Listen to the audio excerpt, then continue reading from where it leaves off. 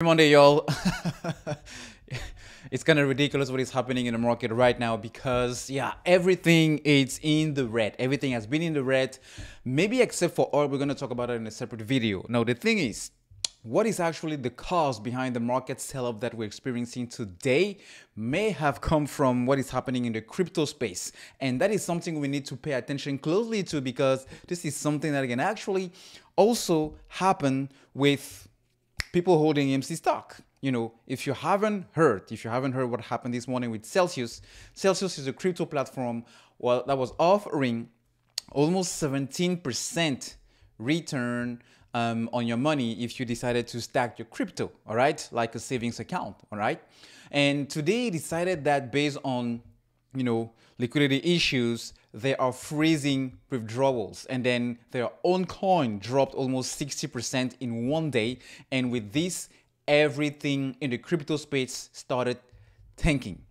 So that's on the crypto space. But on the other side of things, you also had markets that was also puking based on what is happening in the interest rate world where, you know, the 10-year treasury also gapped up to almost 15 years high. All of these in fears of liquidity tightening, money be a lot more expensive in wake of what the Federal Reserve is going to do.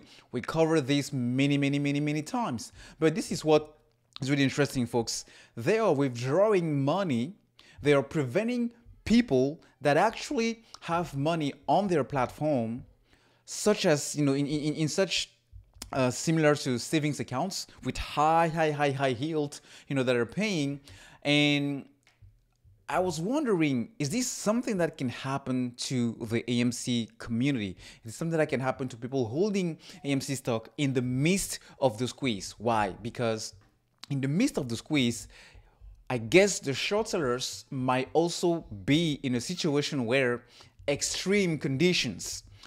I mean, just just imagine the stock going from $14 to $140, maybe in a matter of a couple of days. That will create a shocking wave in brokers. That will create a shocking wave in liquidity providers, market makers with gamma squeezes. I mean, you can you can name anything. It will be um, it will be a chaos. It will be a chaos in you know those market participants, um, and they what they did in July in January of 2021 by withdrawing and pretty much you know suppressing the buy button i'm not surprised i wouldn't be surprised if they will do the exact same thing with the sell button or preventing people from actually taking your money out. Like you sell at whatever your price you know high price or target price is but you cannot actually withdraw the money or they can pretty much take the, the sell button away and you just can sell.